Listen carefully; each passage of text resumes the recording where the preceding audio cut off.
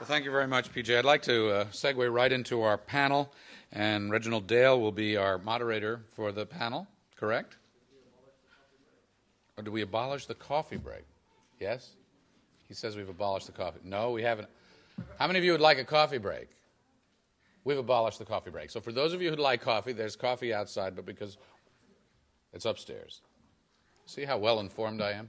If you'd like a, a, cup of coffee, please help yourselves to it. But otherwise, uh, to keep things on track, we'll, let's uh, invite our panel up uh, now, and uh, um, Reginald Dale will be your tour guide and your moderator, and he will introduce your panelists.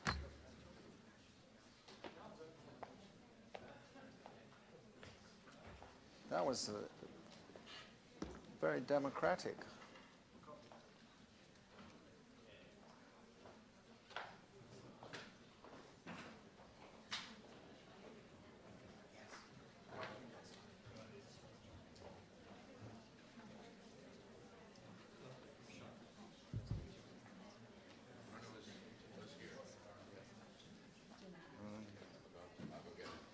Yes, I'm going to get a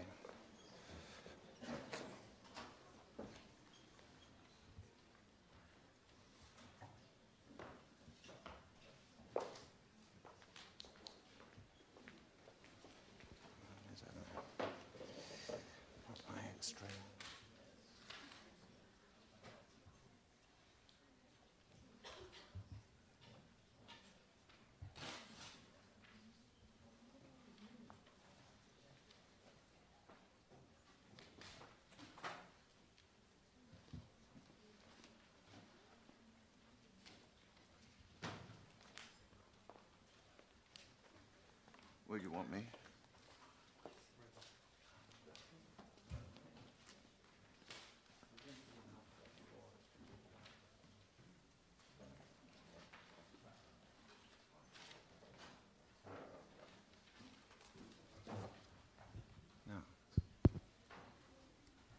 These are all live. These mics are all live. Yes. Hands up, anyone who can't hear. the old uh, joke. Um, good. Well, um,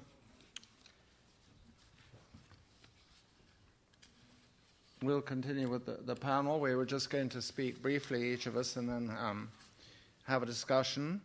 Um, I'm not actually going to introduce any, everyone at great length because you have the panels, the uh, bios. Uh, everyone has the bios in, in their um, material, and I'd rather spend time on the discussion than uh, lengthy biographical details, which everyone has access to anyway. Um, I wanted to, to um, take the moderator's um, prerogative just to say a, a couple of things. Um, first, picking up something that, that P.J. Crowley just said about, about um, holding government accountable, uh, the media's role, and he also said that that was the role of the media around the world, which, which it is.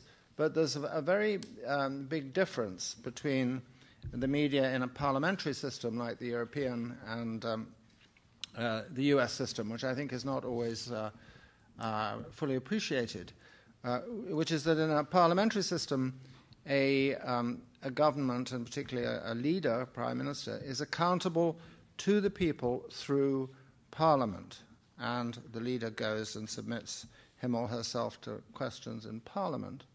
Whereas in the United States, the leader never goes to Congress to be questioned as a sort of parliamentary question time, but holds a press conference and is accountable to the people through the media rather than through Parliament. And I think that this um, gives the American media a kind of quasi constitutional role uh, that is not um, the same as that enjoyed by the media in, in Europe uh, and, and is also is accountable in some ways for the, the very high esteem in which some members of the U.S. media hold themselves uh, as tribunes of the people, uh, whereas some of my colleagues in uh, Fleet Street tend to regard the whole thing as a, a bit of a, a game uh, rather than a serious constitutional exercise. It's no surprise, perhaps, that most of the um, people who write those supermarket tabloids that you find about how I married an alien space invader are, are actually journalists uh, from Fleet Street um, who are not fulfilling their constitutional role in this uh, process. Um, I just want to say one or two sort of um, bull- bullet points about the difficulty of working with the US media today, particularly today, because the, the polarizer, political polarization of the country is also reflected in the media. I mean, it's, it's a chicken and egg problem. Is the country polarized because the media is polarized, or vice versa? Or I think it's a, a, actually a bit of both. Um, just um, uh, about two weeks ago, I, I read a column in, in, the Washington Post, and right before the end, um, the writer said, uh, used the phrase, I can't believe I'm writing this. And she put that in context. She had been writing about uh, the policies of uh, the Republicans in Congress, and she was talking about John Boehner, the Republican leader in Congress. And just before she finished, she said, I can't believe I'm writing this, but I actually agree with one of the points he made. Now, that, that to me was astonishingly revealing. I mean, I, I think it was meant to be a sort of. It was partly that she felt guilty she was agreeing with a Republican. She had to somehow apologize to all her friends, her liberal friends, um, that she was actually saying that she agreed with a Republican. On, but she felt that she couldn't agree with a Republican on one single small point without somehow um, excusing herself or apologizing for it. And, and to me, uh, I, I, spent many years as a columnist, and we were always uh, told that we ought to be unpredictable and surprising in our, in our comments. Uh, this was astonishing in, in, in, indicating that basically what she was going to do in all her columns was um, to rehash the, the, the, the Democratic Party line. And sure enough, she had a piece in at the end of last week commenting on Republican policies in Congress on uh, jobs, and it was the complete Democratic Party line. And, and I sort of wonder what's the point of being a columnist if all you're going to do is, is write the, the speaking points from the Democratic Party or the Republican Party? And, and we've got to a point where if you look at the columnists in the Washington Post and the New York Times, uh, the two papers that PJ reads uh, every morning, you, you, can just about classify them uh, in advance, know what they're going to say. Um, it might be helpful if they had little blue or red stickers on top, um, so you didn't have to read the um, column and you knew which one was identified with which uh, party, or maybe a you know blue sticker with a couple of red dots on because they occasionally agree with one point a Republican has made. So. Uh, I, I suppose, and, and, and, then I was reading Politico the other day, a, a, serious analysis of um, what seemed to be a serious analysis uh, of uh, the, the run up to the midterm elections and the polls and, and, and how the parties were doing. And I suddenly came across uh, this phrase, our side. And so, of course, th- this wasn't written as, an, as a. The writer had maybe inadvertently given away the fact that the writer was looking at it from one side or another, our side. Now, to me, that completely, just as the comment in the column destroyed the credibility of the column. This destroyed the credibility of the analysis. Why should I go on with this analysis if, if it's written to, make, to advance the view of, as the writer put it, our side? Um, and you find it even more, of course, as um, PJ Crowley was just talking about in, in the um, cable news, uh, TV. Uh, cable news, where actually the last two years show that uh, the more you make a program ideological, the more the ratings go up. But both uh, in um, on the liberal side and the conservative side, in fact, more on the conservative side uh, than the liberal side, uh, the, the, the ratings go up. Um, you find it in, in, in blogs, at, and uh, here again, they tend to polarize because liberals tend to read liberal blogs and conservatives read conservative blogs. And so you're constantly reading people who agree with you and go a bit further, more towards the extreme, and you think, oh, it's all right. Uh, you know, here's this blogger saying this. It's, it's respectable to think this. And so there's a tendency to pull each in, in the direction away from, from the center. And um, the, the, only good news on that front is I, I read an estimate that only 1.5% of Americans read political blogs. Um, and I also read somewhere else that um, uh, blogs are actually beginning to decline in uh, quantity, which I thought was splendid news for all, for all of us. First of all, we don't have to read so many, and secondly, we won't have to write so many.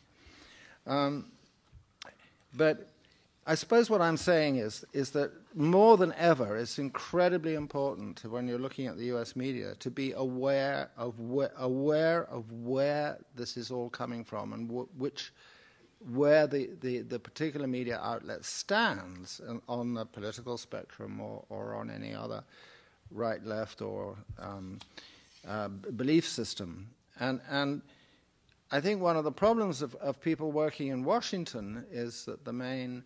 I spent uh, nine years working in, in the newsroom of the Washington Post, not for the Washington Post, but in there. And, and is that here you have a, paper that is uh, goes to enormous lengths to try and be, uh, as it would see itself, neutral or unbiased and so on, uh, and, and, and, to be where um, the center is without being biased. But its view of where the center of American opinion is is much further to the left than where the center of opinion actually is, and the same applies to the New York Times.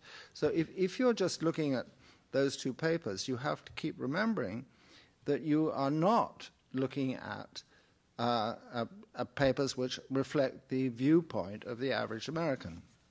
And is another uh, consequence of that is that, that, for foreign correspondent in Washington is to me it is absolutely essential to get out of New York and Washington and go around the country and uh, talk to people all around the country, or you won't ever really understand um, the United States. Uh, we, uh, the organization I run actually has a, a, a program for visiting European um, media fellows, and we send them out to do precisely that, and they come back with the most incredibly uh, enhanced uh, understanding of, of, the United States. Uh, I know it's not always um, easy to do that. Um, th- there are, uh, I, I, won't belabor that point any further, the, the, there, are some uh, good things happening, I think, which is that um, Americans are. Um, the news consumption of Americans is actually going up at the moment. Americans are spending more time um, uh, following the news than at any time in the last uh, decade. They're still getting. Um, I have all sorts of figures here. Um, uh, uh, tw- 20, uh, 29% of Americans, I think, still get news from newspapers, although that's much um, smaller from uh, the under 30s.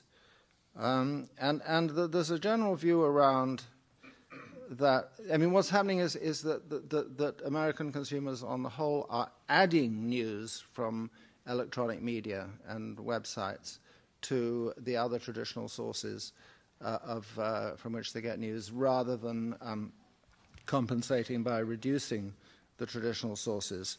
And, and th- there's a myth going around, which I'm glad this is a myth, um, that people increasingly get their news from uh, the Jon Stewart show and the Colbert Report and so on. And this, uh, this uh, I just have a, a, table here of surveys of um, big survey that's been done on this. It turns out that, in fact, that's not the case.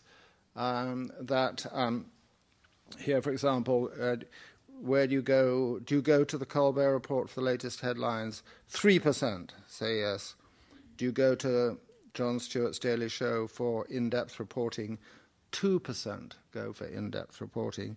Do you go for entertainment? the figures are in the 40s and 50%. So, I mean, th- th- this idea that somehow we're all being taken over by these comedy news shows is not, is not um, uh, sustained uh, by the surveys. Um, th- that said, um, uh, I, I, do think that the biggest challenge is still um, identifying what what is a a, a neutral, unbiased, um, um, factual, as far as it can be, report in the American media, and that's what I'm hoping that we're going to um, pursue uh, with this panel. So um, the idea was that we would speak in alphabetical order, which I think puts Sean uh, in the next uh, uh, next in turn. All right. Is this on then? Can you hear me? Great. Um, all right. Uh, my name is Sean Aday, and I'm a professor here at uh, George Washington University in the School of Media and Public Affairs, and the, uh, usually the director of the Institute for Public Diplomacy and Global Communication. Uh, although I'm blissfully ensconced on sabbatical this year, and uh, so actually my golf games improved dramatically until the rain started. But um, anyway, I'm supposed to talk about uh, how the U.S. media covers the rest of the world and covers U.S. foreign policy in general, um, which are not two of the same things. Um, I thought it was fascinating listening to PJ Crowley. For one thing, hearing PJ Crowley talk about Twitter is interesting because PJ Crowley has one of the all time great tweets uh, of the last uh, few months, which I guess is really about the life cycle of Twitter almost, but um, in which uh, when an American was um, imprisoned in North Korea and former President Jimmy Carter went over and secured his release, PJ Crowley uh, tweeted, uh, warning to Americans thinking about traveling to North Korea, we have a limited supply of former presidents, um, which I thought was wonderful. Um, um, I also thought it was very interesting the way he talked about uh, how when he comes in in the morning, he gets a, a stack of clips. Uh, he gets two stacks of clips. One is of uh, the, the, way the rest of the world has covered America. Uh, but the other, the first stack that he mentioned, was an inch thick stack of clips about U.S. Uh, media coverage of U.S. foreign policy. And I was fascinated to discover that it's actually an inch high because I can't imagine that it would be. Um, and I'm sure either it was much higher, uh, much thicker in the past um, or they're padding that dramatically because I think one of the most important things that he talked about today, um, one of the little nuggets he said was about the, the lack of uh, the reduction in journalists, U.S. journalists, uh, that he has at his briefings. And it really goes uh, part and parcel with what I want to talk about very briefly in these introductory comments, which is that uh, a couple of things. One is the trend in U.S. media coverage of foreign policy, U.S. foreign policy in general, and especially U.S. media coverage of the rest of the world uh, a trend, a declining trend in both cases, a, a, decline in the amount of coverage, the quantity of coverage, and I would argue the quality of coverage. Um, and that's for a number of, of, different reasons. But I'm also going to talk a little bit about uh, ways in which this is a very interesting time to be talking about this subject in particular, because even though the news industry is shrinking, uh, the traditional news media industry is uh, said to be shrinking in many ways, the decline in papers, uh, et cetera. Um, in other ways, that's an interesting time because there are alternative means of not only gathering news and producing news. Someone mentioned ProPublica uh, during the question and answer. Um, but also uh, blogs and the internet and other types of backpack reporting, as it's called, and, and ways in which there are alternatives not only for mainstream journalists to gather news if they so choose, uh, but also other avenues for the rest of us to get our news uh, for young journalists in the room from SMPA and, and for others uh, to uh, report on the news. Uh, but also ways uh, to do reporting, basic reporting, uh, ways for organizations that want to get news out, that want to maybe challenge official lines um, of argument uh, to get that news to reporters. So it's an interesting time, whether all those potentialities are realized or not. Um, first of all, I want to just uh, talk about these, uh, these trends towards declining news and, and, the nature of U.S. media coverage of foreign policy and, and the world. And really, the short uh, way of putting this is that the best way to understand the way the U.S. covers the world and covers foreign policy is to understand U.S. foreign policy. That U.S.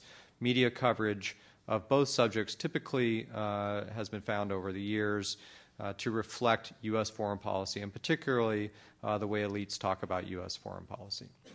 So, the, uh, a, a, brief way to, to think about that uh, is uh, a few studies have looked at, say, coverage of, um, of Darfur and, and related topics uh, in Sudan before, uh, say, the, the beginning of the 21st century, or uh, I think even more critically, uh, the regional conflict centered around the uh, DRC, um, and have found, that, for instance, that you get uh, basically no coverage in the American media, and then you get these spikes. So if you were looking at a line chart over time, it would go like this, and you get these little heartbeat spikes, and you you look into the spikes and you find, well, what, what was happening there? Because there's two pieces of news there. One is no coverage, and the other is the spike.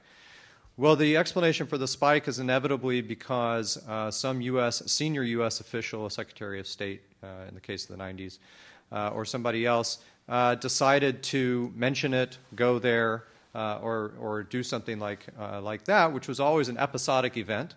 they would make a visit, they would mention it prominently in a briefing, or a State Department spokesperson would mention it.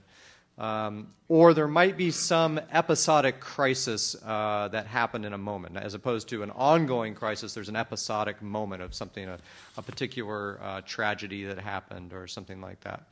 Um, and that's what explains those spikes. Usually, though, what it was was something about a U.S. official did something, right? And that's really one I think uh, one of the really important ways to understand U.S. media coverage of foreign policy is that it typically reflects what the U.S. government is doing.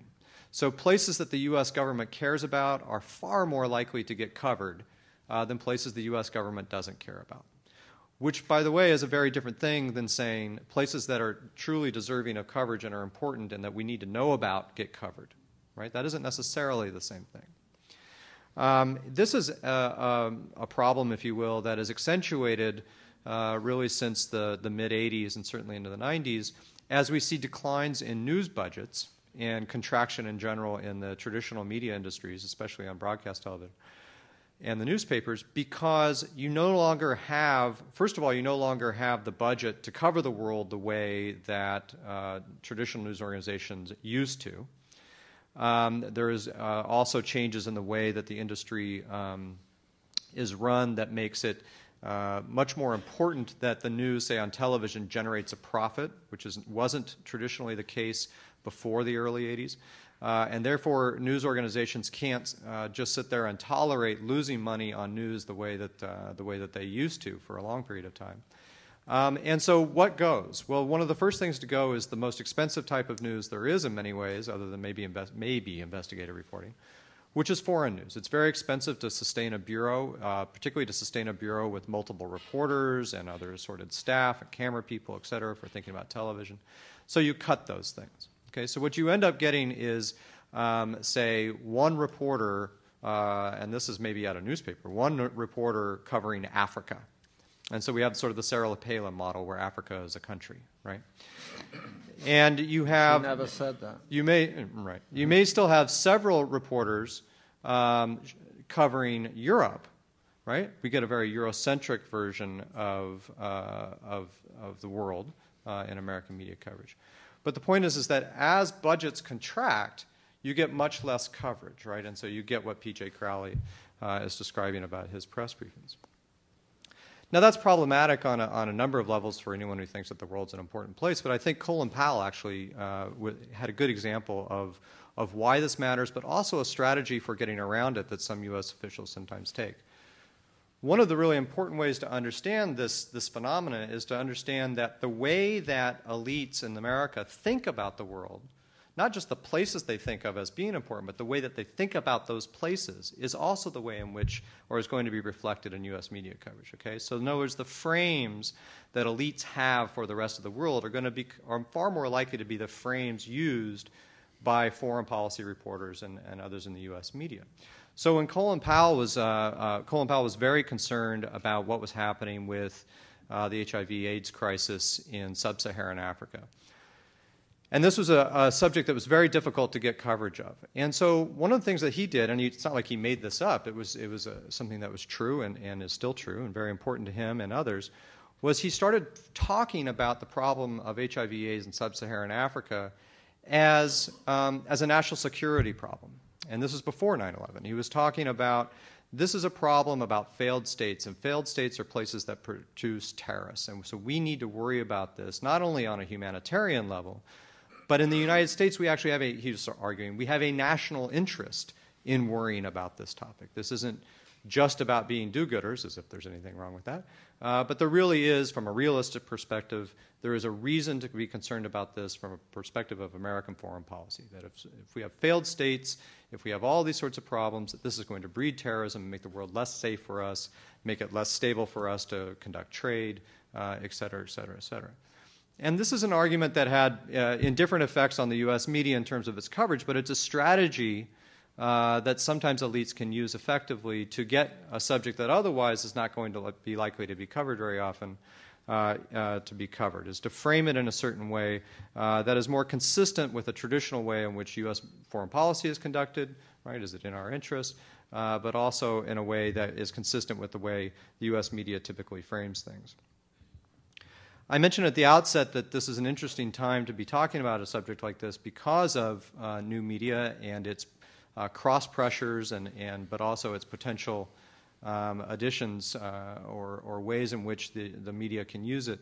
Um, and this is an open question. There isn't an easy answer here. People who say that, uh, oh, new media are liberating and, and the Twitter revolution and all that are, are really way ahead of themselves. Uh, we don't actually know, I think, very much uh, about that on the global scene. We have a, maybe a better sense of it in, in America, but I'll let Matt address that since he's the expert on it. Uh, but on a global scene, um, uh, it's, it's far less clear uh, the role of new media uh, in general in the various ways that we talk about them in terms of collective action and challenging authority. But in terms of the news business, it's a very interesting challenge because, on the one hand, as has been mentioned before, it's putting pressure on traditional media as an industry. Uh, on the other hand, uh, it also opens doors in a declining uh, environment for foreign news in the U.S. It creates alternative avenues for, first of all, cheaply produced foreign news uh, that can be used by traditional media and others. Uh, but also, it creates at least the opportunity for alternative means for the rest of us to get news uh, about the rest of the world that we might be interested in. And at least in theory, uh, the opportunity to find news about topics uh, that challenge official lines, whether that's the official line in Iran or London or here. Um, and so that's a very interesting uh, development that we have to uh, sort of see uh, come about. I don't want to hog the whole time here. I know we want to have mostly discussion, but I yes, think those are sort of the, yeah. the, ways in which I would lay out the, the, sort of framework here. Good. Thank you. Perhaps we could move on to Arnaud de Borchgrave uh, with apologies for the laryngitis that I woke up with this morning. Uh, Saul Bellow once said that a great deal of intelligence can be invested in, ignorance when the need for illusion runs deep. And uh, today, I think we're living the illusion of a well informed citizenry. In my 62 years in the news business, I'm about to enter my 85th year. Uh, I've gone from the Morse code and key to telex to satellite phones wireless laptops, which is what I used during the Battle of Tora Bora in December of 01 when we failed to nail Osama bin Laden. But all those bells and whistles, in my judgment, have not uh, improved our understanding of the world around us. In fact, that understanding has diminished perceptibly, aggravated recent, in recent times by uh, our crisis in journalism that we're all talking about. The average age of a newspaper reader I've read recently is 55. Many newspapers are dying uh, or born again online. Tech savvy bloggers have already revolutionized politics yet again, though I hear that might be changing too from Reggie. And some, of course, would argue not for the better. And Twitter, following YouTube, MySpace, Facebook, and many others, caused a near revolution in Iran two summers ago. But the quality and quantity of foreign reporting for American publications has declined, in my judgment, precipitously. Foreign bureaus, as you've heard, have been closed. Prominent foreign correspondents have taken buyouts or started their own blogs. Uh, and in my judgment, Americans have seldom been as ill informed about global trends and crises as we are today. Frequently, our three major networks, CBS, NBC, and ABC, do not carry a single item of foreign news, even though one of them calls, them, calls itself uh, World News Tonight which reinforces my conviction that TV is to news what bumper stickers are to philosophy. As The Economist summarized the media crisis, many newspapers and television producers have discovered that people have short attention spans and a hunger for scandal, gossip, and disgust. They feed them accordingly, often below the belt by bugging telephones and badgering celebrities. We now have a new journalism the journalism of assertion, which has replaced the journalism of verification, which I was trained with beginning with United Press in London in 1946. With 24 7 news cycles, we have neglected our duty to arouse public interest where it did not exist before and to take what's important and make it interesting. As a result, few democratic leaders today seem to grasp that we're living through a period of social change that is more profound than anything we've experienced in, in 5,000 years of recorded history, and all of that is now on fast forward. There are, of course, exceptions, Al Jazeera being a notable one. Its coverage of the world's most important stories outshines, in my judgment, all other reputable sources. I watch it every day, morning and evening. In the Gulf recently, I was reading the Peninsula News and the Gulf News. Each one of those newspapers carried 12 pages of foreign news. The Financial Times and the International Herald Tribune are now the very best newspapers in the English speaking world. They are first among the seven newspapers that I read every morning. I believe the root of my criticism stems from the situation as we emerged triumphant from the Cold War. Editors and TV producers decided in their infinite wisdom that Americans no longer cared about foreign news and decided to focus instead on easier to cover, certainly less expensive to cover domestic stories. That gave us two years of O.J. Simpson. Uh, the infamous skater Tonya Harding, according to a detailed study done by the Pew Foundation, got more airtime in a comparable news period than the fall of the Berlin Wall. There are many such examples, as you know.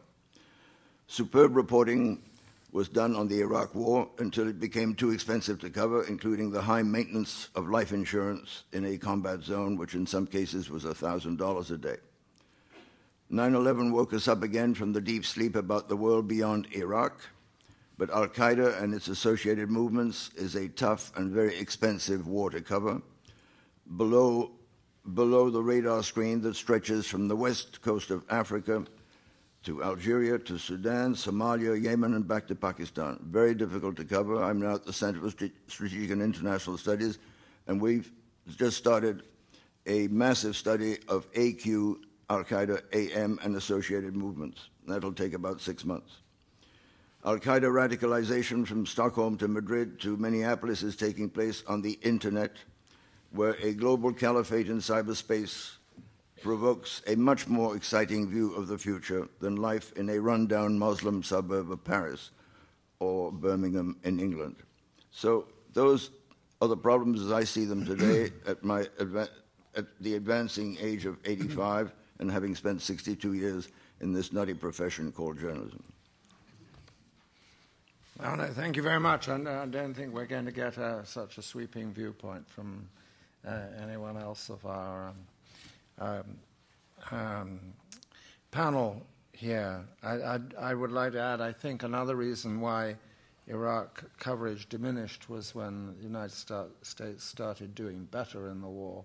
Uh, there was more uh, of the coverage seemed more appealing when the United States Well, when you look at the situation today, badly. there should be massive coverage than today, since now the power with the most influence in Iraq is not the United States but Iran. Yes, but that, that's uh, I, I, couldn't agree with you more. But uh, so that's a very big story. they're not having a set piece battle, unfortunately, or fortunately, perhaps I should say. Um, anyway, uh, next in line is Robert Entman. Bob. Thank you. Uh, I took it as my uh, my instruction to uh, talk to uh, those of you in the audience who are foreign correspondents, uh, trying to figure out American politics and American media um, about this question of media bias, and it's already been alluded to by almost everyone uh, who's spoken so far. And I guess I'm going to provide a slightly different point of view on that.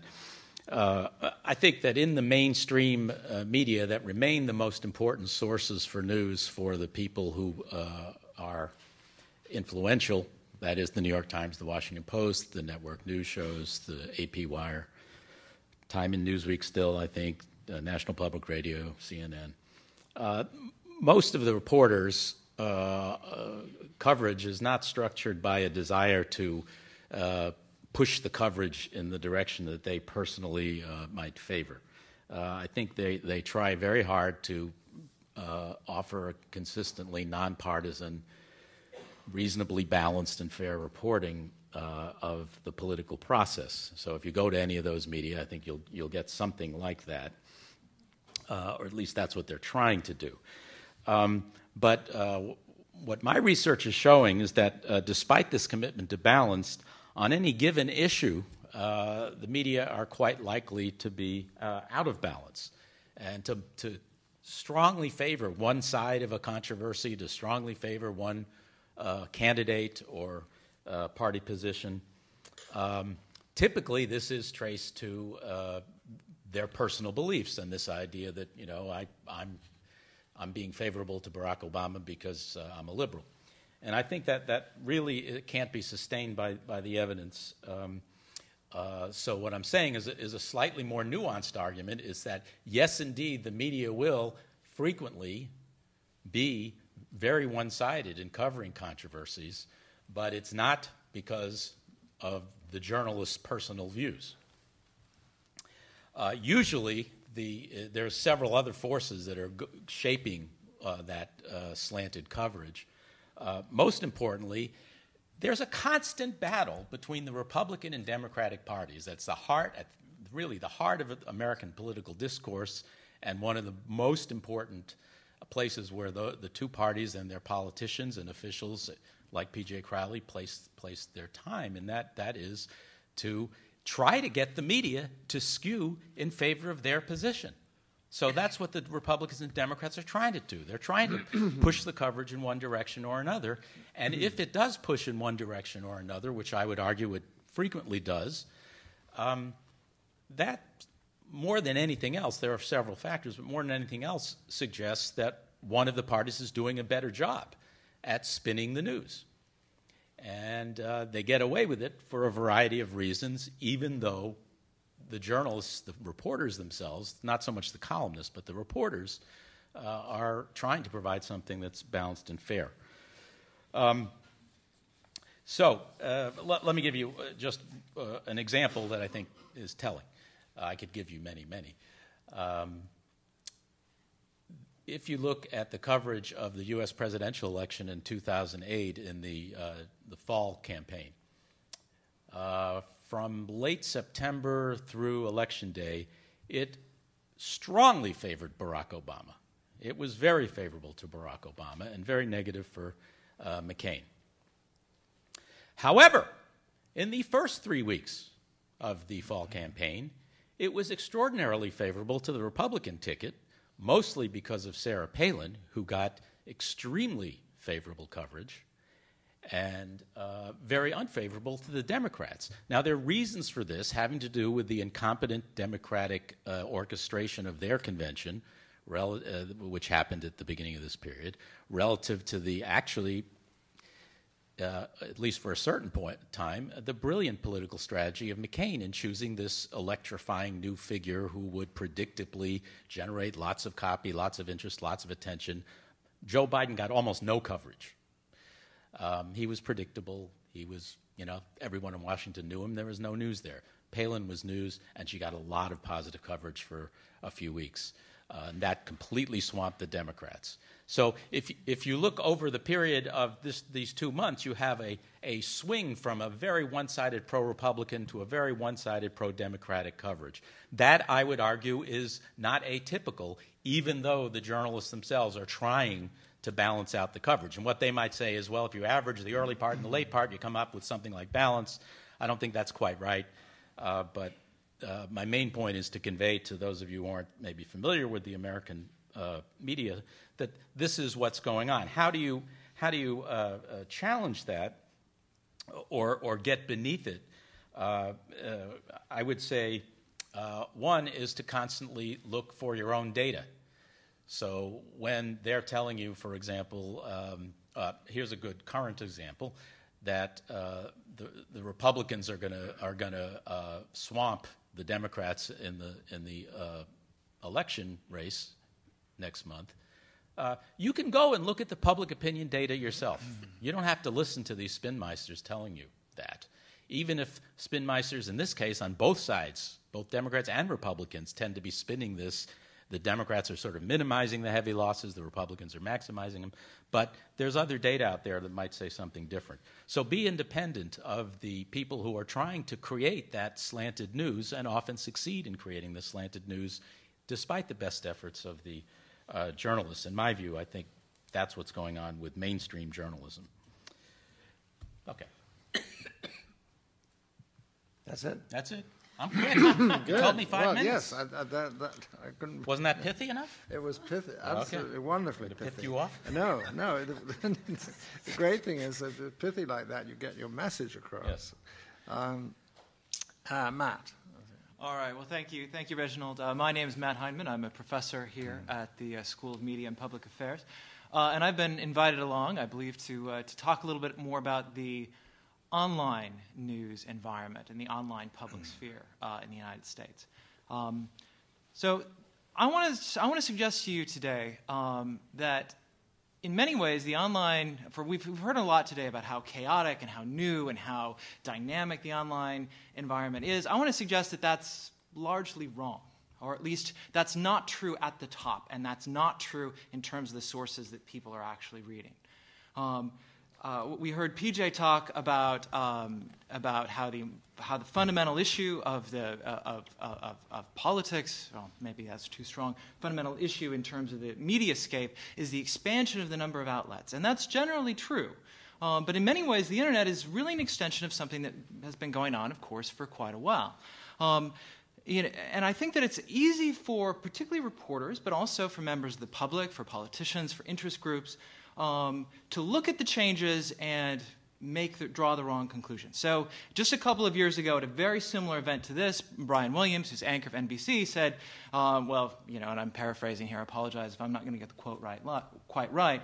But he said, "You know, all my life, you know, I've been str- I've been struggling trying to get credentials to cover my line of work, mm-hmm. and now I'm competing with a guy named Vinny who lives in an efficiency apartment in the Bronx, and he hasn't left that efficiency apartment in years."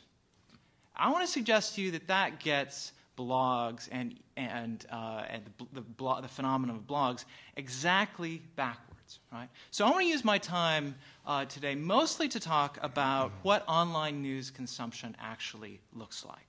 Um, so let's start out with um, so what portion of America's online media diet, what portion of web visits go to news outlets? Actually, not that much. Only about 3 or 4% of web visits um, go to online news outlets. Um, but if we restrict our, restrict our search, right, restrict the question just to non commercial or online only outlets, the sort of outlets that aren't just an online outpost of a traditional media organization. Um, the amount of actual web traffic that, to, that goes to those kind of outlets, um, on, you know, uh, online only news outlets, uh, uh, uh uh, interest group sites, uh, anything that doesn't fall into the category of a traditional news organization, is only about two tenths of a percent. Right? It's really a rounding error. Um, that's not to say that it's not important in certain circumstances, um, but we shouldn't confuse this with something that is a mass phenomenon uh, sweeping uh, the Republic. Um, so, are people getting more of their news diet online? Yes, I don't, I don't think there's any question. Um, but at the same time, um, it's also clear that a much more important part of the American news diet comes from television, and even, yes, still from network news, than comes from, uh, from, from the online world. Um, our ways of measuring this aren't perfect. One of the, uh, one of, one of the best long term measures we have comes from questions that are asked um, by Pew. Um, in their um, uh, Center for the, for the People in the Press. Uh, and they ask, uh, they've asked since uh, for 20 years, um, what portion of uh, what, what, are your what are your most what's your most important source of news? And if they give one, they say, well, okay, well, where's, what, what's your next most important source of news? And now, um, as, as I believe Reginald mentioned, we're now finally up to the point where more people say that online news is more important to them than uh, than a traditional newspaper, right? Um, but that's still behind all of these other outlets. It's still far behind television, which is 70, 75, 80% of the public um, says that that's an important source of news to them. Um, not, but even though people say that increasingly the, uh, uh, the web is an important source of news, um, it's important to understand exactly how they're using this, uh, how, how, they're, how they're using this source, and actually when they're using this source. Uh, most visits to news sites, online news sites, are quite short. Um, and they kind of have to be short because they're during the working hours. Most news consumption, uh, yeah, online news consumption especially, is not like it's not like reading the newspaper. It's not like uh, watching TV news. It's, it's an activity that's done primarily at work. And for those of you who are working in news organizations, uh, I'm sure that you get the, you know, get, you get the heat maps, you get the internal reports um, that, tell, that, that suggest that this, is, that this is the phenomena that you're seeing. Um, so, um, I think that it's also, we need to be careful uh, in terms of interpreting what it means to say that news consumption is up. And I generally think that, you know, by, by some metrics, that's actually true.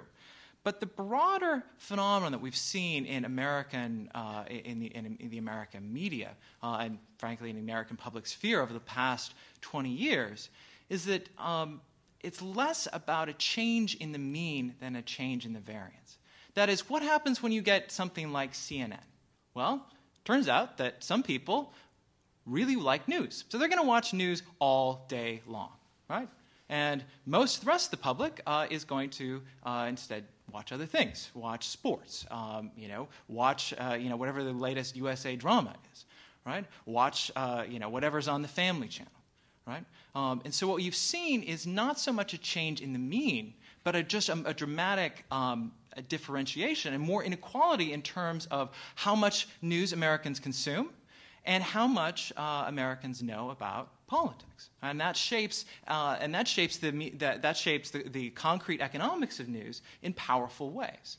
Um, it, instead of instead of being geared uh, instead of being geared primarily at the mass market, you can see certain segments of media that are geared much more towards niche segments of the public. Uh, and I'll be talking uh, I'll be talking more about that later. But that shows up particularly in terms of, the, uh, of questions about polarization. Um, certainly, the economics of the online media market um, promote polarization and promote, uh, in general, uh, many of these outlets uh, that do have stronger views.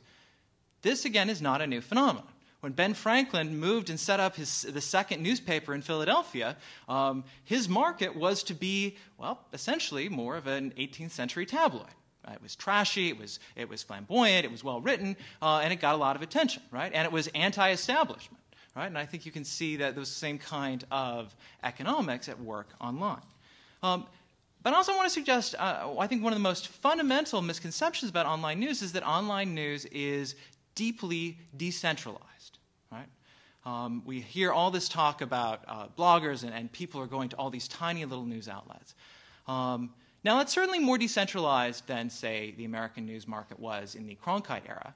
Um, but actually, online news is dramatically more concentrated in many ways than print newspaper readership, which is the area of media consumption that has been most directly affected by the rise of the internet. The top 10 outlets online account for almost a third of all online news readership, whereas the top 10 newspapers in the US account for about 20% of print readership. Um, at the same time, if you, you can, in fact, look at the long tail of online content um, sites that are tiny in terms of market share, say sites that are ranked below 500 uh, in terms of their total audience, are about 20% of the total American news consumption online. Um, whereas newspapers that are ranked below 500 only, are only about 3% of the print circulation in the US. So instead of this simple story, this simple narrative about how everybody's going to the tiny outlets, in fact, more people are moving to the very biggest outlets than are moving to the smallest. Um, a couple more points before I uh, finish up. Um, so, even though we have all these online, a greater diversity of online outlets, um, does that mean that we have more diverse content? Um, to some extent, the jury's still out on this, but uh, the early reports, early recent research suggested the answer is actually no and partly for reasons that we've already heard about today. It used to be very difficult for, uh, during, certainly during the middle of the news cycle, for news organizations to get a really good job, to do a really good job of monitoring what their competitors were doing. Now it's almost impossible to avoid. And so, in a variety of contexts, you see more duplication of, of stories. Um, in, in, many in, in, uh, in, in, terms of the, the herd mentality, the echo chamber, in ways that we're, uh, we're familiar with. Um, and let me, suggest, let me conclude by talking a little bit about blogs. Um, I want to suggest, I'll, make a grand statement. I think blogging is dead. In fact, um, I think that the, to the extent that you could talk about blogging as in the, in the, in the ways that you, that, that you often heard blogs discussed in 2000, 2003, uh, blogs is citizen generated, uh, uh, citizen generated media. Um, I think if, if you, in that sense, blogs really never existed in the first place.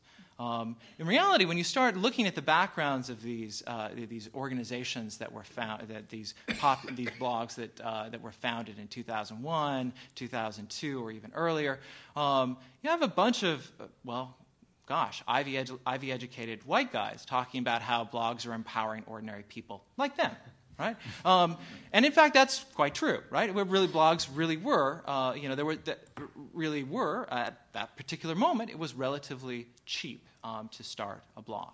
I think it's quite clear um, that to actually be read as a blogger, that that moment has passed. If you look at the 2001 2002 uh, election cycle, there was a lot of new blogs. 2003, 2004, a few, a few of them got really big. 2005, 2006, only a couple. In the 2007 2008 cycle, there was only one new blog that made it into the list of top 100 political sites uh, over the course of the 2007 2008 campaign. Anyone want to guess what it was? 538. 538.com, right. And, and not only that, this is a very different model of blog uh, initiation, right? It was started out as sort of a spin off of Daily Kos, not uh, as a sort of a one man band site initially. Uh, and of course, what we now see is that blogging isn't a separate category of content. It's just a subgenre of opinion journalism. And it's done overwhelmingly by professional journalists. Uh, 38, you know. Right, yeah. Now, 538, of course, is now, uh, has now been, you know, is now providing content uh, for the website of the New York Times. Um, and I think this has dramatic implications for how we read things like blogs. Um, what is a blog? Well, now it's just the default way of publishing any sort of time sensitive information online. Um, and so the ways in which we evaluate sources um, really depend uh, particularly on, in much, are, are, are still in the online world quite traditional. Um, and, we, and, uh, and I think that that, uh, and, and, I think that that is good news for the reliability of blogs, um, but probably uh, contradicts a lot of the uh, a lot of the narratives that we still hear uh, about uh, guys in efficiency apartments in the Bronx and how that they're how they're taking over journalism. Um, I think it's, I think we need to be very careful um, not to be too self-aggrandizing. Yeah. Thank you. I, I, think that was quite fascinating. I would just ask, would like to ask you one point of clarification. Sure. You're talking about going for news online and going to newspapers as if those were two contrasting, uh, separate uh, ways of getting news. But aren't a lot of people going to the online sites of newspapers? I mean, to newspaper websites? Yeah, absolutely. I mean, how, how, does that affect your statistics? Um, so if you look at what are the what are the most read online news outlets, they are all familiar names. Um, they are Yahoo Yahoo News. Um, CNN.com, the New York Times, and on and on, you know, uh, you know, NBC, NBC, on and on down the list. Um, these are these are generally traditional outlets, um, with some exceptions, like, like Yahoo. Yeah, yeah, yeah. yeah. Thank you. And now, um, finally, to a European practitioner uh, of the art of the foreign correspondent from Washington, uh, Gina. Thank you. Yes, I'm a correspondent with the uh, Swedish radio, and I might as well begin by, by declaring I am completely dependent on US media as a correspondent. Uh, I would like to to confirm what Frank Sesno said in his opening remarks, uh, I re report a lot of stuff. I, I report what American media has already reported about, and that's part of my job. Uh, so I would be nothing without you. Let me begin by declaring that. Um, I've been with the Swedish radio for 20 years. the, the last 15 years, I've been covering mostly global and, and foreign news. Um, I've been reporting from, from the Middle East, from all over Europe. I've been covering the, the latest three presidential elections here uh, in the US, and I've been, been uh, appointed Washington correspondent 2007, so I have been based here, uh, living here in, in Washington uh, for the last three years. And um, in other words, I've seen the changes uh, that many American newspapers and many American American media outlets have gone through the last years and that, that you all have been talking about. Uh, with layoffs in, in the newsrooms, with cutbacks that have resulted in thinner papers and, and less resources. Uh, we have gone through the same thing in Sweden and, and all over Europe, as you know. But I must say, in, in comparison with uh, other parts of the world that I've been covering, I still find American journalism to be outstanding. Um, we all know there are huge differences between different media outlets, between uh, uh, different newspapers. Uh, there are, of course, exceptions and all sorts of, of variations. Um, but overall, when I open New York Times in the morning, when I read Wall Street Journal, USA Today, uh, when I listen to NPR, I'm, I'm deeply impressed by, by the knowledge, by the uh, ambitious, and by the thorough uh, reporting uh, that are being presented here each and every day. Uh, just this past weekend, the, the story in, in Washington Post about uh, soldiers coming home from Afghanistan with, with brain injuries. I mean, did you see the article? It was, it was a great story. And uh, the story in New Yorker about uh, how, how the Senate and the White House missed to make a deal on climate change. Uh, that's what I call good journalism. Um, so I want to begin by expressing my gratitude. uh, my gratitude towards many US media outlets, and, and I'm in awe of, of a lot of things you do. Uh, with that being said, Reggie, you asked me to talk about the pitfalls uh, of, of, relying on US media outlets, and there are quite a few. Um, one pitfall for a foreign correspondent is the risk to buy into uh, the American view of the world too much. Uh, it's easy to get, uh, to get used to defects in one's home. and I think that there are some issues, some subjects that American journalists overall don't report on as much as one could expect. Uh, one example is the capital punishment. Uh, I mean, there are certain cases of, of uh, execution that gets a lot of attention, like recently the, the woman in, in Virginia uh, who was executed. But overall, why isn't there a nationwide debate going on about the capital punishment? Uh, why isn't there a debate in the media every week about the fact that the US still uses the death penalty? From a European point of view, from a European perspective, uh, that's astonishing. Um, the death penalty was also a non existent issue in the presidential election. I don't think the candidates were asked a question about it. Uh, and that's also surprising for, for a European correspondent. Um, another such issue is Guantanamo uh, and the, deten- the, other detention centers around the world that, that US has abroad.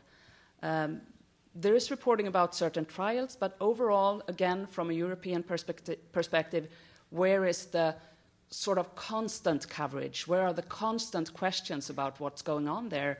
And why aren't there, again, articles every week about the fact that US holds prisoners year after year without prosecution.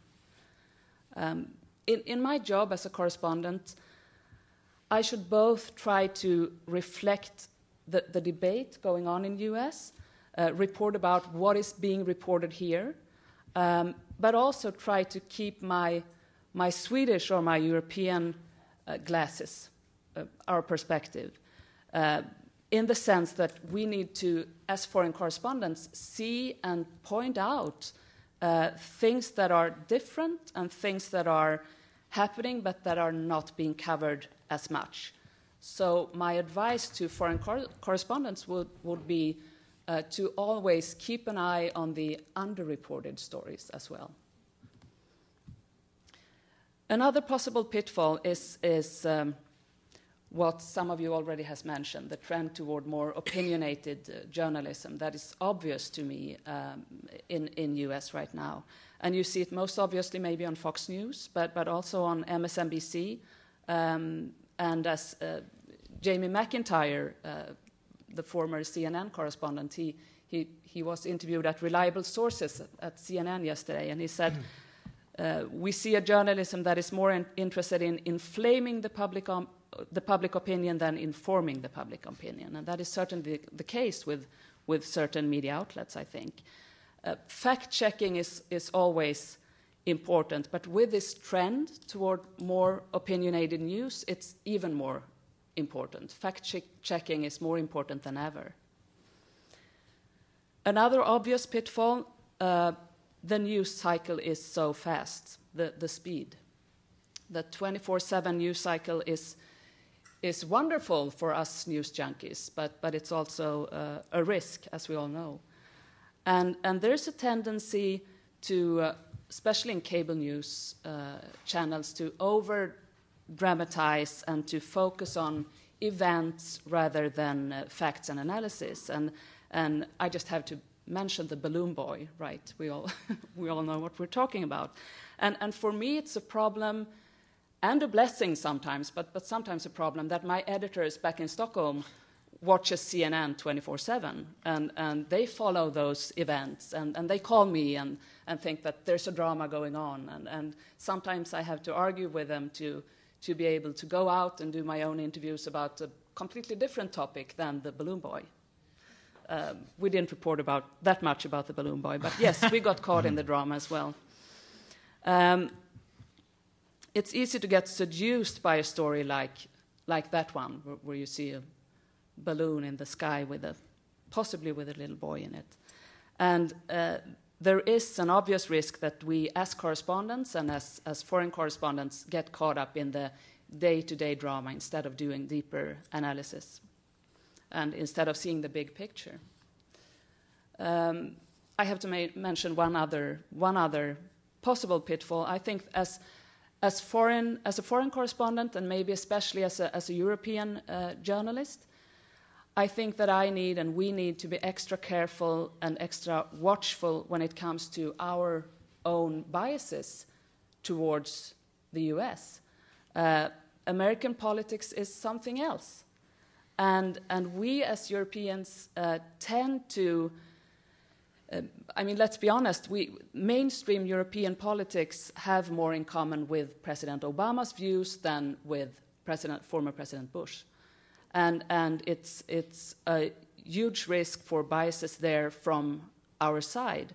And we should be watchful of that. And, and if we do want to do fair reporting about American politics, we really need, to make an effort to mirror both sides and both parties in, in a fair and respectful way and to be aware of our own European prejudices. Thank you. Well, you certainly brought a, a, your Swedish and European perspective to us, uh, particularly by choosing those two subjects, Guantanamo and mm-hmm. uh, the death penalty, which are issues which are throughout Europe are subjects that, that people constantly think about when they mm. think about the United States. Mm. I, I, think it's true to say, one of my American colleagues will correct me if I'm wrong, but I think it's true to say that no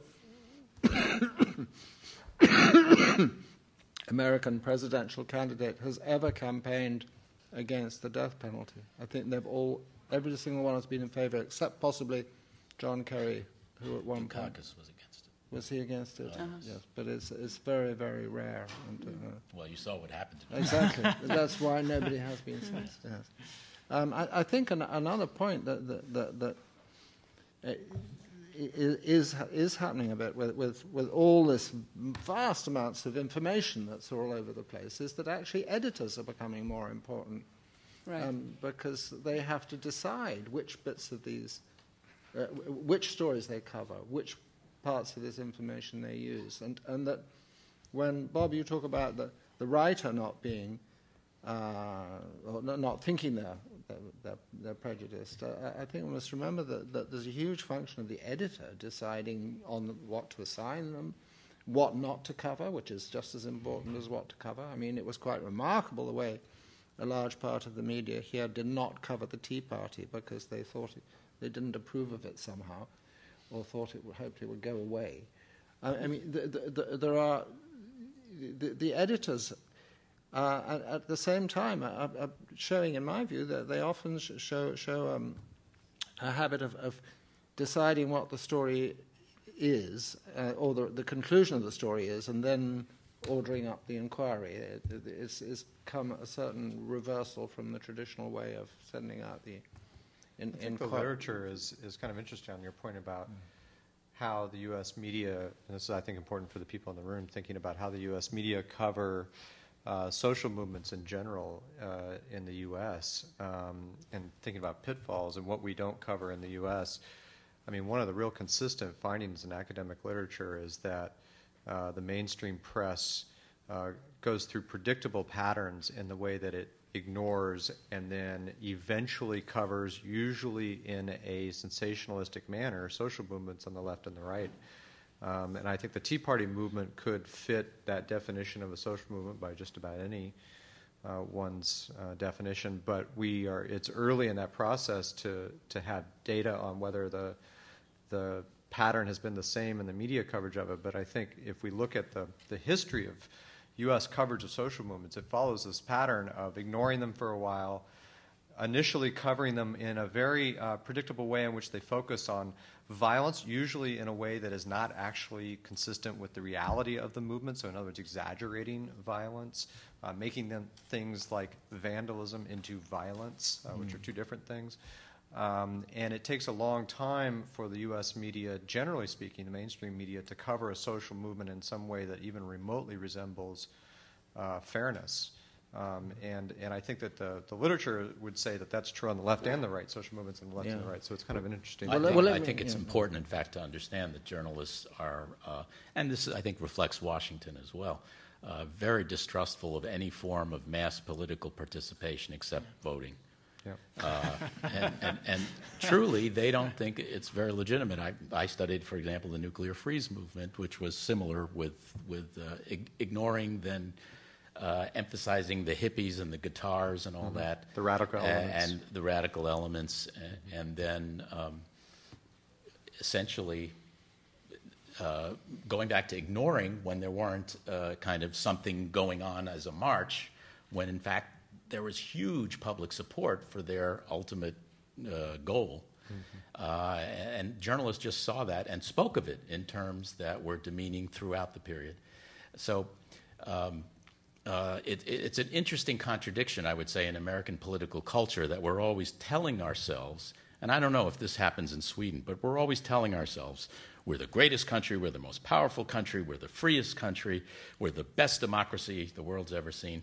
And yet, when it comes down to it, uh, journalists and I would say generally the Washington political culture don't, don't really appreciate anything but uh, citizens kind of quietly casting a ballot. Yeah. Well, Robert, Sweden, Sweden, I should tell you, has been defined as mor- the moral superpower. Oh, so you have a oh really? But, but not by ourselves, okay. because we're very humble people. Let me put one, one more thing before we go to the floor. It, is that it seems to me, as just as an observer of the, the media for a long time, that, that there's uh, been a huge growth in emotion in, in, in, the media, as opposed to the what, where, why, when. That, that uh, there was a point perhaps around 1990 where if you had it, you might have a huge train crash and, and somebody would come staggering out of the wreckage. And if there was a journalist with a microphone, they'd put it in the face of the, the person coming out. And so, uh, the first question would be, What happened? And now the question is, How do you feel? Mm-hmm. Uh, and, and, there's enormous, particularly on TV. Uh, Mrs. Jones, how do you feel that, that, your son uh, has just been convicted of being a serial uh, murderer. I mean, how do you think I'm she very feels? proud. You know, I mean, if you listen for it, it's there the whole time. Or how did you feel when? And, and to me, that's part of this sort of sub- subjectivization of news that I think I see going on. Well, I think one of the phenomena that's related to that, perhaps, that we haven't, we've discussed, I think, on the outskirts today, is the rise really since the, the early 80s and especially the early 90s of the celebritification of news. Uh, you mentioned the OJ uh, trial coverage uh, and, and Tonya Harding. Um, but there's, there's a lot of good analysis, uh, especially of television, but also of print media, newspapers, in an age of chain ownership, et cetera, and declining budgets, of decisions made to shrink the news hole uh, in favor of, of course, advertising, but also just to shrink the news hole so you produce less newspapers and use less newsprint. Uh, and then on, on uh, television, of shrinking the news hole to add ads and teasers so that people during your commercial don't change the channel and never come back because they found an exciting episode of Seinfeld or Friends or something. Uh, but the other thing is, is that the nature of news that fills the news hole is more likely to be uh, entertainment journalism or soft news, Or human uh, interest. news you can use, yeah, human interest than hard news, and certainly more than foreign news, which of course is gone. Now, do we have some questions from the floor?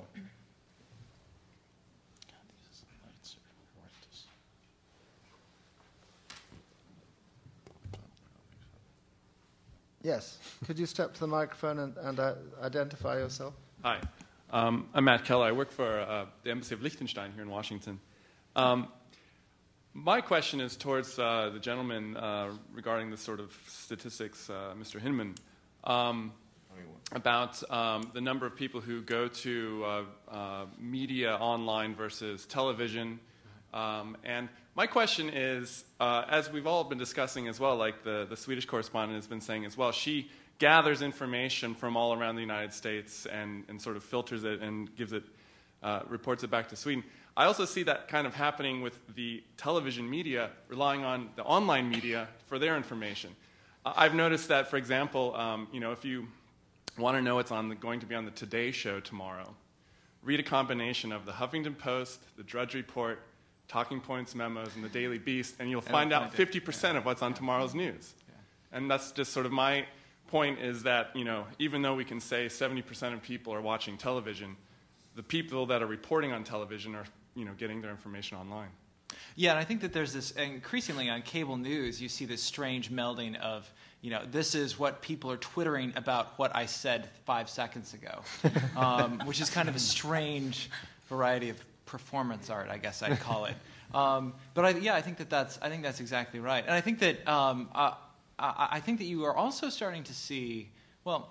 I'll take a step back. I think it's worth, as important as cable news is, I think that it is uh, important to remember that its absolute audience is actually quite small um, in terms of mid hundreds of thousands of people in a nation of 300 million people. Um, so I think that um, uh, wh- whereas Fox News may be important in a variety of ways, um, I think that in terms of uh, the number of, say, uh, independent voters uh, who are going to be swayed by what they see in Fox News, um, I'm going to guess, I'm going to go out on a limb here and say that number is approaching zero. Um, so the extent to which um, cable news in general uh, is important for that reason, I think is, uh, I, I think it simply isn't. How do you see things working out with the next 10, 20 years? That more and more people are online. Around the world today, we have four and a half billion cell telephones 6.8 billion people. We have uh, 2 billion people online. How does this all play out in the next 10 years? Uh, well, uh, normally I would defer to one of my colleagues, Steve Livingston, uh, on, many of these questions. Um, I think that I think the answer is quite country specific. That the effects of the internet, the effects of mobile telephony, depend an awful lot on what the pre-existing conditions on the ground are. So I think it's very hard to make a sweeping st- statement uh, about you know what this means for for politics.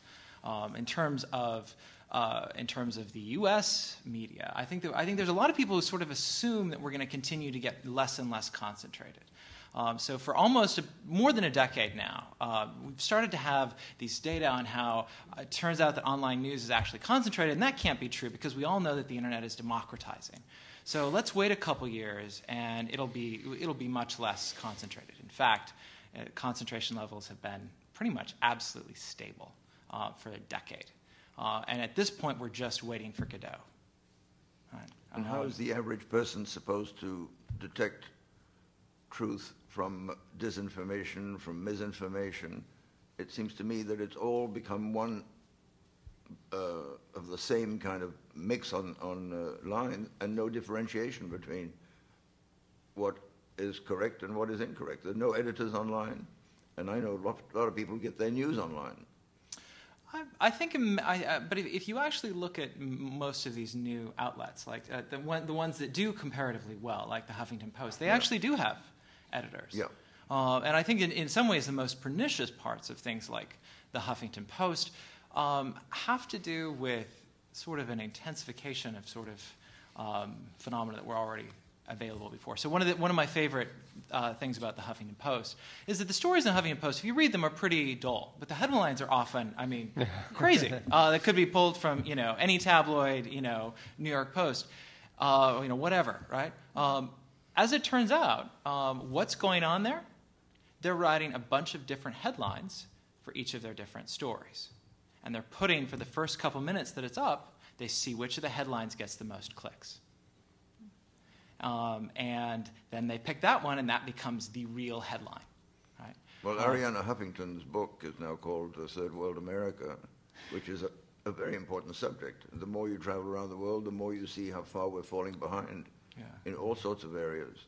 So I don't see too much uh, reporting of this in the in the media, except when the pipes, the, the, the drain pipes in Washington are discovered to be over 100 years old, and suddenly there's a stories. But this is happening all over the country. especially vis-a-vis Europe.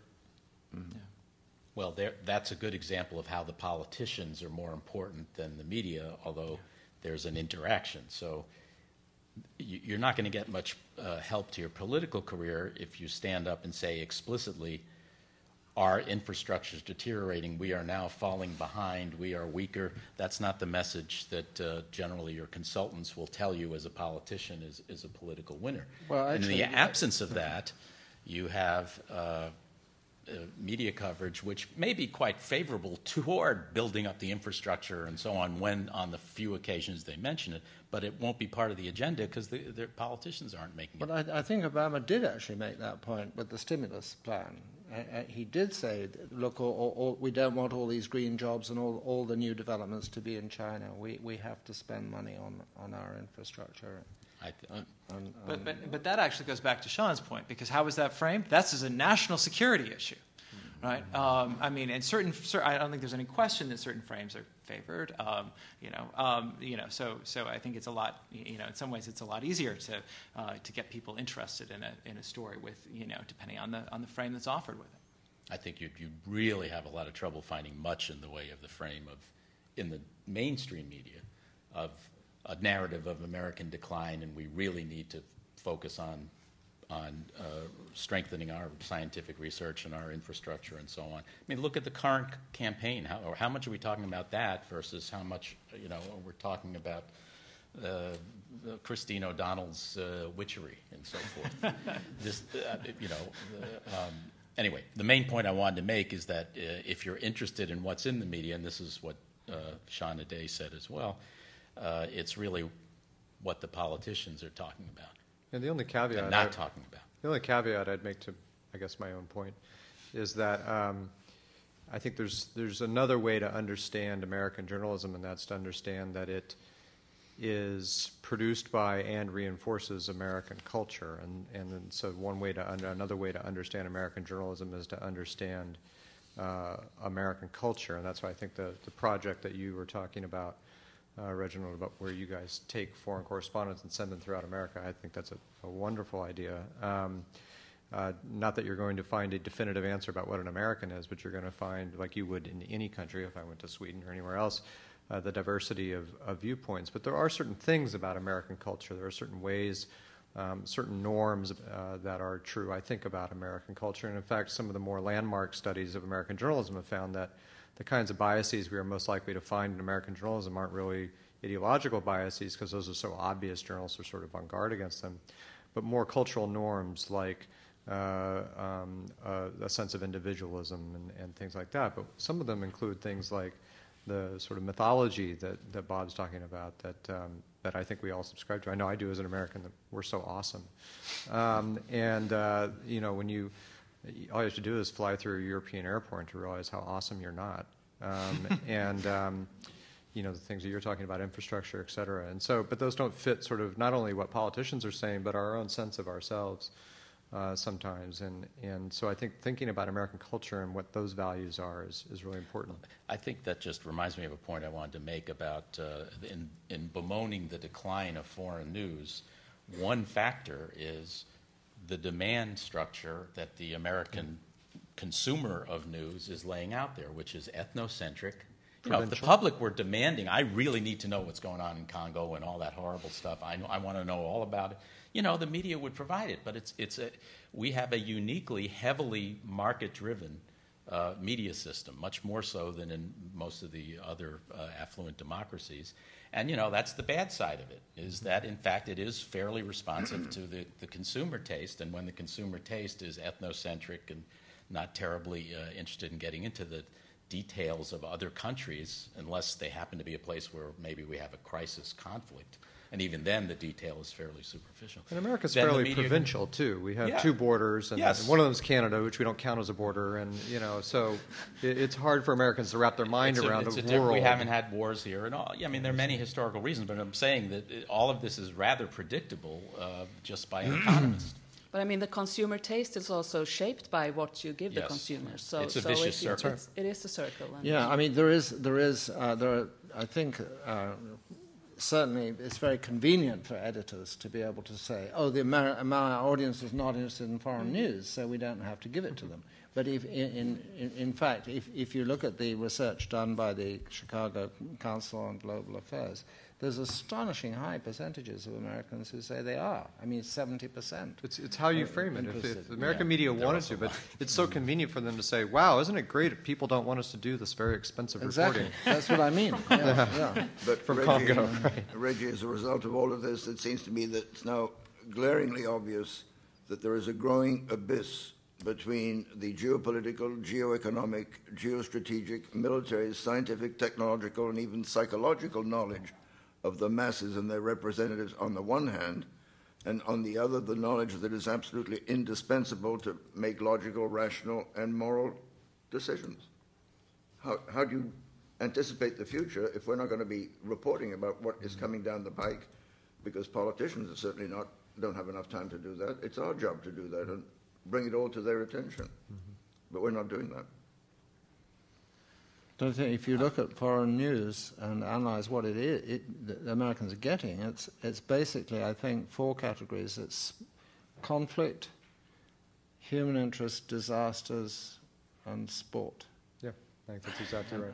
And, and it's not uh, analysis of the sort of thing that, that Arnaud is talking about, or, or uh, how is the world going to be, and, and what is America's role in it. And, uh, And it does all of that episodically. As a result, dysfunctional government and dysfunctional Congress.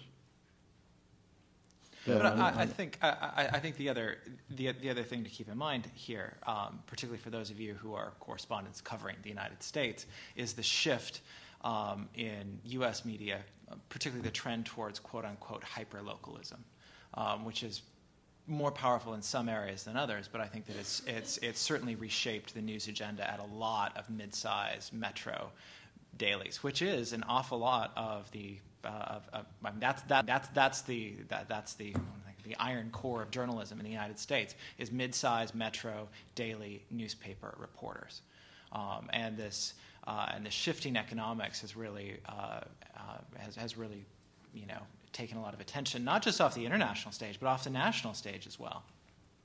I think there are also changes that have been uh, found in the way Americans um, um, go after their news. I mean, the, the way they. Um, I'm, I'm not talking about the supply side of the news, but the way the demand side of the equation works. And, and there are some huge shifts. Like with, with, with now that there are online, um, all this uh, information online, and, and uh, one is that a lot of the um, American consumption news is search led. That's to say that there's a subject they want they vaguely heard about and they want to follow up, or or they're curious about one thing, or they want to know the result of a football game, or they, so so they go and Google something, and and pursue it that way. Um, and so they're not getting a, a, a broad picture. Uh, it, the, you, was it you who talked about being in the office also and just sort of quickly looking up? Uh, the, I- the, Yeah. This is grazing. I mean, I mean, the, the, the, they often just read one headline in the first paragraph and then move on to the next. And this is totally the opposite to the traditional way of reading a newspaper, where you turn from page to page and read all the stories and learn about a whole lot of topics that, that you didn't know about before. The, the, there's a, a lot of it comes from what you know and what you want to look for. And it's, No, and I think I, I, I think that last point is definitely um, supported by. Uh, there's been a couple of, of studies that suggest exactly that. That you know, giving somebody a newspaper front page online, uh, and giving somebody an actual newspaper, uh, that somebody who actually looks at a physical copy of the newspaper tends to be peripherally aware, tends to learn a little bit about a lot of things that they're just thumbing through, um, and and that perhaps that might be consequential. Uh, in terms of actually how people are getting to these online sites, it's true that a lot of it is search led, but an off, but by but by far the most important component of search led is is navigational searches, people searching for specific outlets. Um, so, you know, typing in the New York Times or Yahoo News uh, or others or CNN into the search box. Um, so, I mean, it's it's you know it's a little silly sometimes.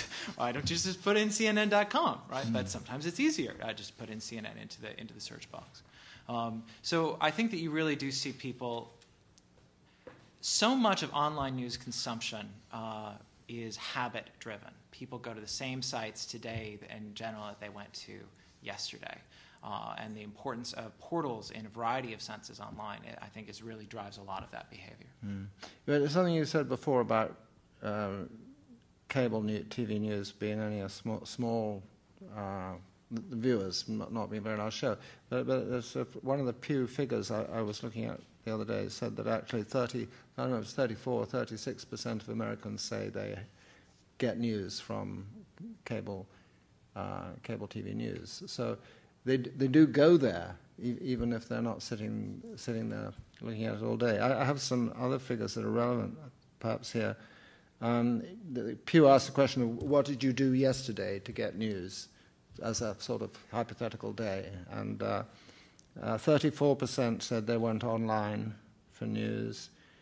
Um, 58% said they went to TV, which bears out what she said.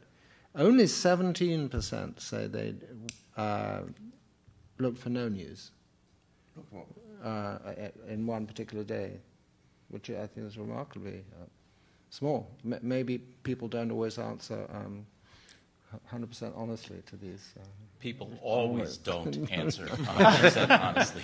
That's one thing. Right, and then 26% uh, of Americans said they read a newspaper every day although only 8% of those under 30. And the average age is 55 and getting older. Yeah. I have a deputy at CSIS who's 40 years old, brilliant young man, just turned 40. He's never read a newspaper in his life. Was that Tom? And he's proud of it. Yeah, Tom. Well, he's always in uh, Kyrgyzstan or something. There any more questions from the audience? Yes. Could you come to the microphone?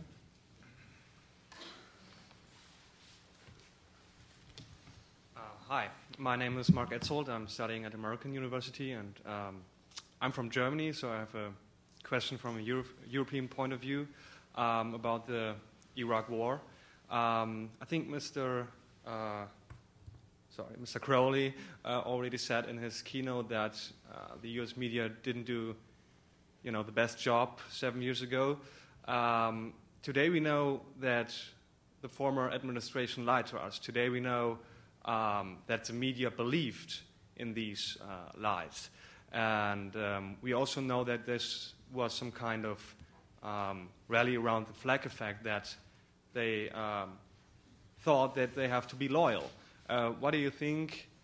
Um, what do you think uh, is the situation now? Did they realize what what happened? Uh, did they learn something, or in general, did the American society learn something about that event? Well, I think for it, Matt, I had a feeling that the word lie was going to create some Matt, issues. Matt, Matt, before we pass this to the panel, I'd love to hear their views. I, I don't believe there is any proof that the administration lied, so you'd have to produce some evidence of that. Oh, okay, I would, I would uh, cite uh, Colin Powell, who said that the evidence he presented in front of uh, the United Nations Security Council were um, constructed. And uh, that's, that's my evidence I would give you. How about if we do this? Since I have a feeling we're going to have a row, since we're in European audience, I'll say row.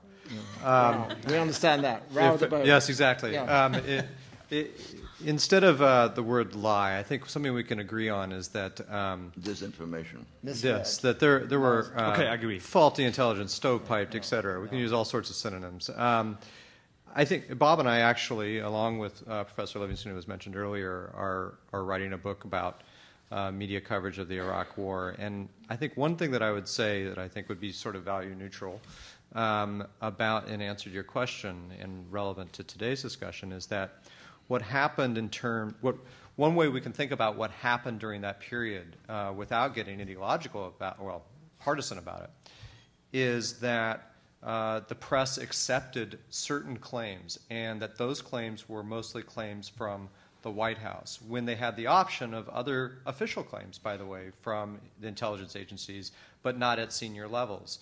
So, for instance, in one of the classic examples that's often bandied about, on the same day that there's an A1 story in the Post touting official claims about, I, I think it was aluminum tubes in this particular case, on page A18, there's a story questioning those very claims, not from Code Pink and other lefties, but from intelligence analysts, right? So the question, an operational question is, so why, why does it look like that? Why does the one story get here and the one story get front page coverage? And I think one of the arguments that, that Bob and Steve and I are making is that this isn't something that just happened in 2002, 2003. That really this is a pattern in American media coverage during the lead up to major American wars, is that that cover, and this would span Democratic and Republican uh, administrations, which is why it's nonpartisan, that it's the tendency to privilege White House claims over other claims, and those other claims could be uh, a, foreign opinion, it could be um, international agencies, UN, et cetera, it could be uh, lesser members of Congress. The point is, is that there is a certain pattern that we see that is repeated through history. Um, and sometimes those claims are on the up and up. Sometimes those claims, as in Vietnam, are proven to be actual lies. Sometimes, at the very minimum, uh, in, say, the Iraq case, it's people uh, believing one set of, of data that they like and not believing another set, and that argument getting primacy over other arguments. So, but the, the pattern there isn't really a partisan pattern, it's a pattern about accepting White House claims over other claims, which is kind of the point we were trying to yeah. make earlier. Uh, uh, At one point, sir, 60% of the American people believed that Saddam Hussein was behind 9 11, which uh, I think indicates how well the disinformation campaign started by the neocons, and I saw it myself at Vice President Cheney uh, at a reception he was giving for Scooter Libby's uh, paperback of his hardback called The Apprentice, and that was one year before the war. And at one point I said, well, if, the, if we should go to war, and I was shouted down by the neocons, what do you mean if we should go to war? It's been decided we are going to war. So I'm sorry, there was a major disinformation campaign there. It was the most unnecessary war of my career, and I've covered 18 wars, and I served in World War II. I think it was an utter disgrace. Well, I, I, the, the, line between disinformation and lies is one we'll have talk about. But, but uh, let me just say one thing in response to one of your questions, which is do the media learn from these experiences?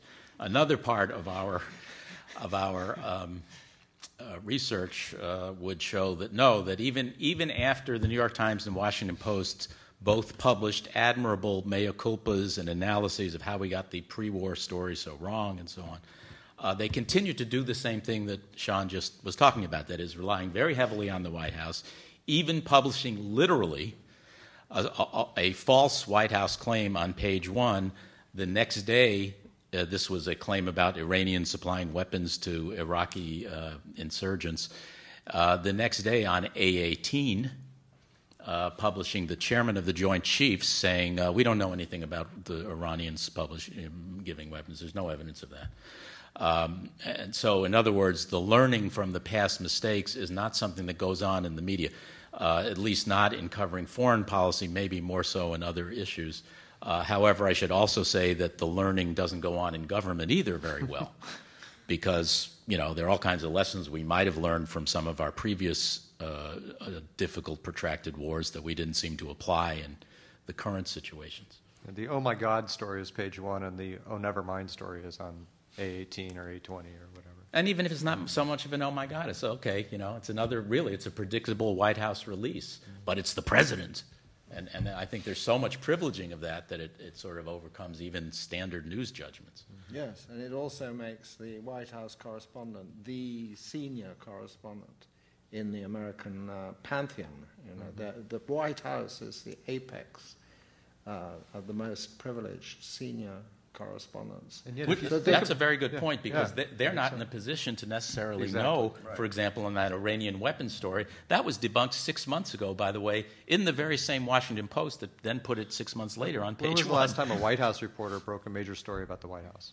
You know, the, those stories come from intelligence reporters, they come from other yes. beat reporters. Yeah. They come from independent reporters. They, uh, they come from foreign I reporters. I was uh, credited to the White House for five years, and I used to go there to the White House briefing. They're basically stenographers. Mm-hmm. Well, they don't have time but, to do anything else. But they but they have the status. Especially now, with, uh, you know, because they have to also be blogging and tweeting all day.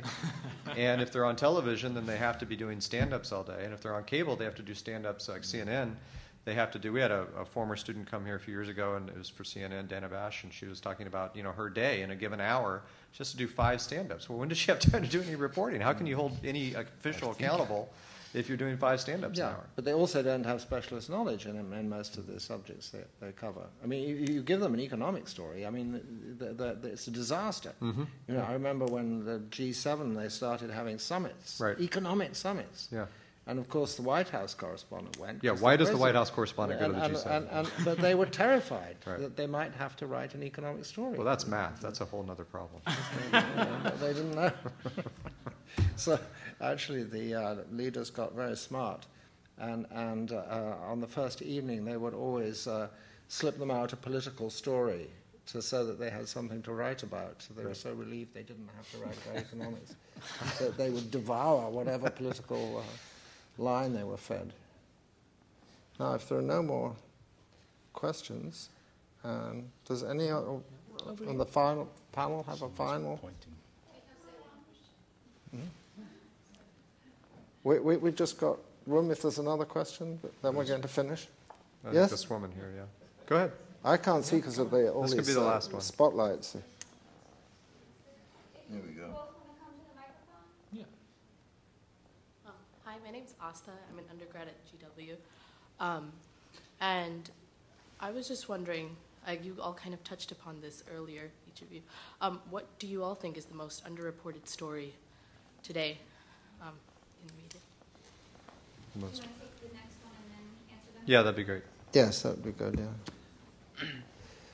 Um, I think uh, it's it's in the world of confusions. I think uh, the media and the, what I'm uh, understanding by your discussion that is you're creating more confusions by the media in the world. Um, uh, okay, just just it's a very simple question that how do you see the conventional and uh, new media in the world, where the literacy is the major problem. But if you see the whole world, if the more than the half of the world, it's underliterate, and we are talking about the online media, the satellite, and so many things. And where do you see that technology uh, matters against these actions?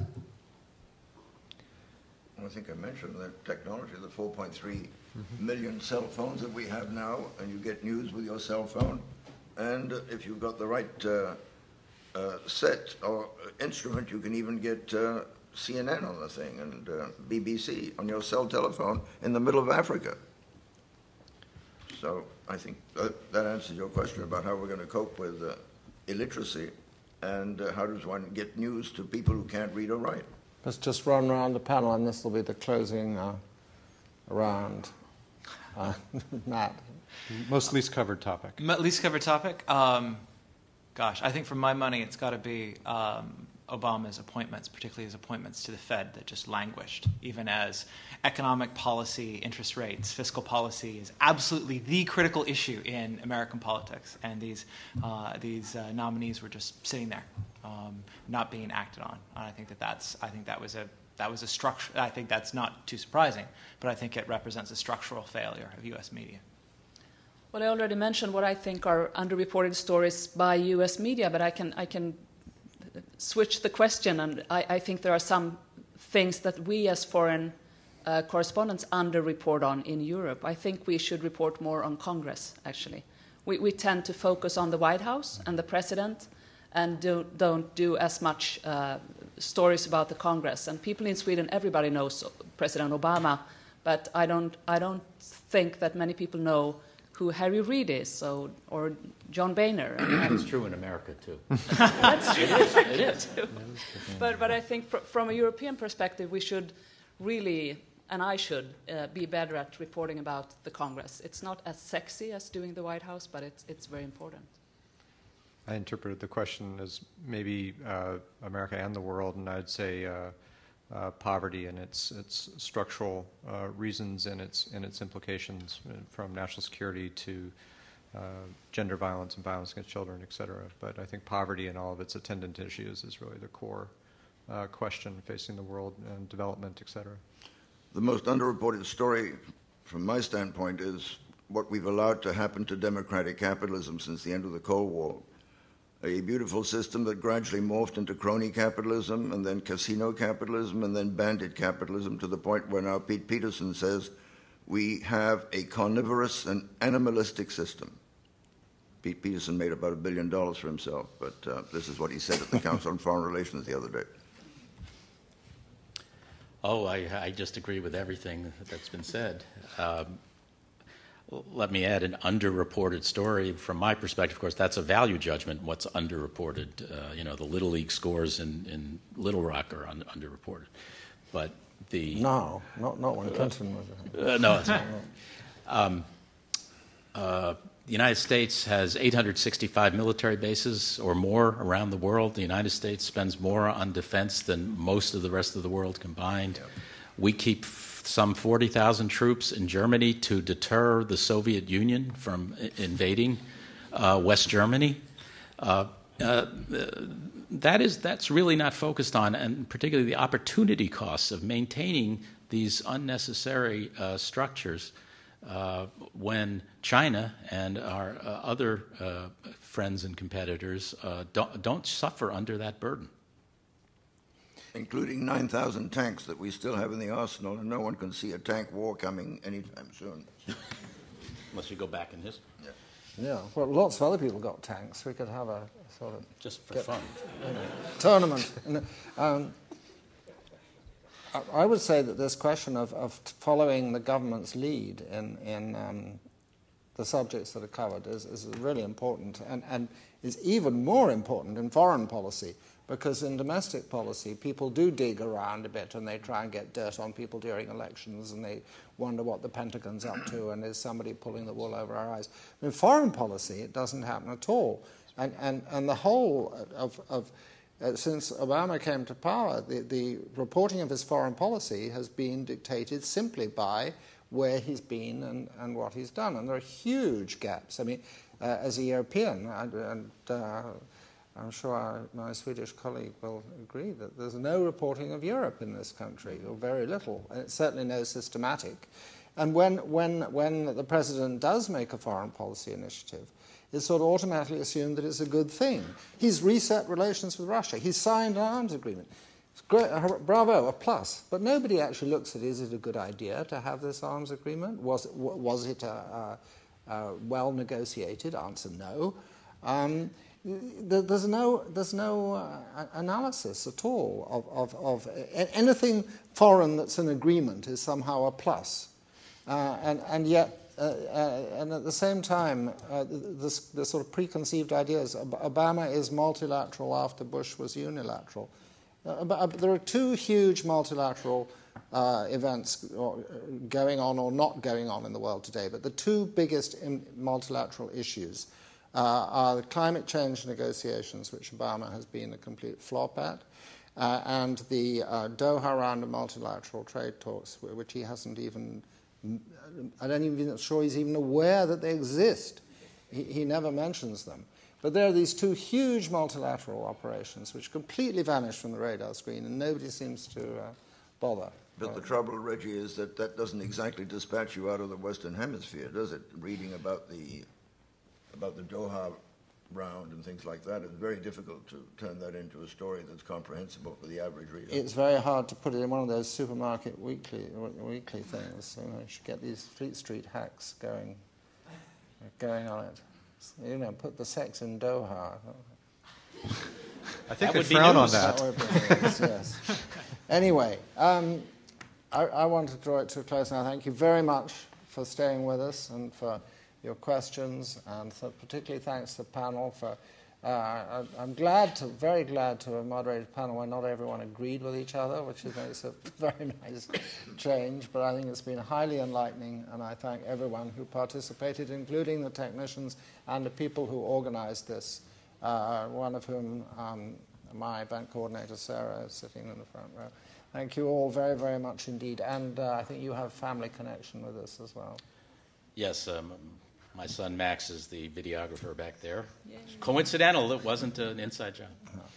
So thank you all very much, and thank the panel. Thank you. Same here, enjoyed it.